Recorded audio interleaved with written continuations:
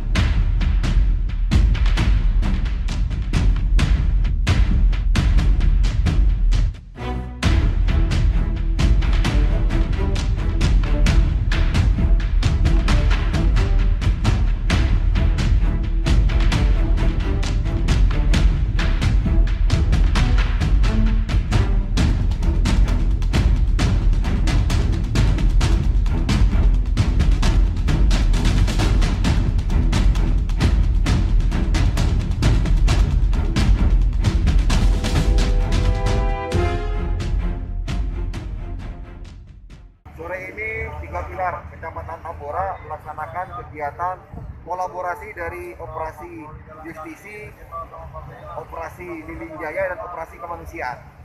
Kegiatannya adalah melaksanakan penindakan terhadap masyarakat yang mengendarai roda 4, roda 2 yang tidak mematuhi prokes sekaligus memberikan pelayanan rapid test gratis kepada masyarakat yang melintas maupun yang melakukan pelanggaran prokes. Untuk kegiatan kolaborasi antara operasi justisi dan operasi kemanusiaan di Linjaya ini kita laksanakan minimal dua kali sehari.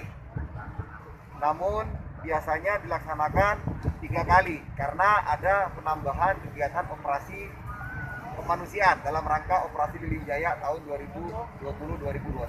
Pertama tujuannya untuk mencegah atau memutus penyebaran virus corona. Yang kedua melakukan kegiatan deteksi dan juga monitoring terhadap penyebaran virus corona yang ada di masyarakat khususnya pengunjung yang akan mendatangi Mall Season City maupun yang melintas di sekitaran Mall Season City.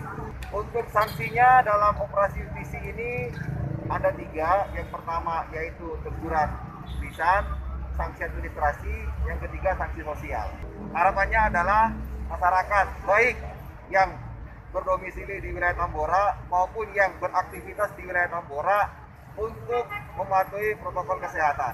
Karena angka penyebaran virus corona khususnya di wilayah Jakarta itu sangat tinggi sehingga apabila semua masyarakat mematuhi protokol kesehatan harapannya angka penyebaran COVID bisa dapat menurun.